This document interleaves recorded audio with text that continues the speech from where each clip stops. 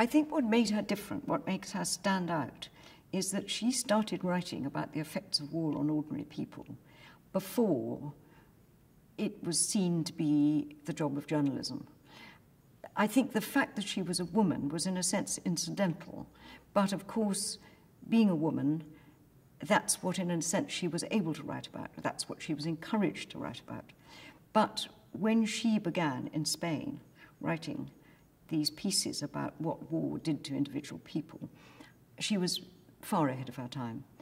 I, because I think it was still true by Vietnam that people were more writing about, about what happened in the war, about, about victories and defeats, than they were about the everyday lives of people in war zones. I think she was hugely influential on a whole generation of younger war reporters. And many of the good women reporters now very openly say that they were much impressed by her. Martha was a huge influence on people, I think, increasingly.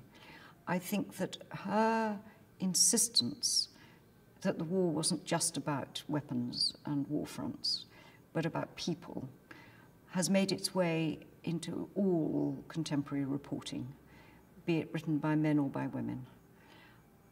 Now, you could also say that that was the way war reporting was going anyway, and Martha was certainly not the only person to shape it.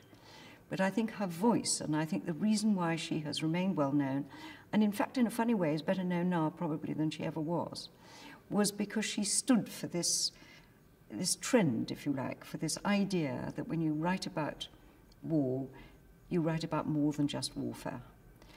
So you could say that, yes, she was ahead of her time. Yes, she was in the vanguard of people writing about it. She was, she was part of an already changing world, but she certainly pushed it on.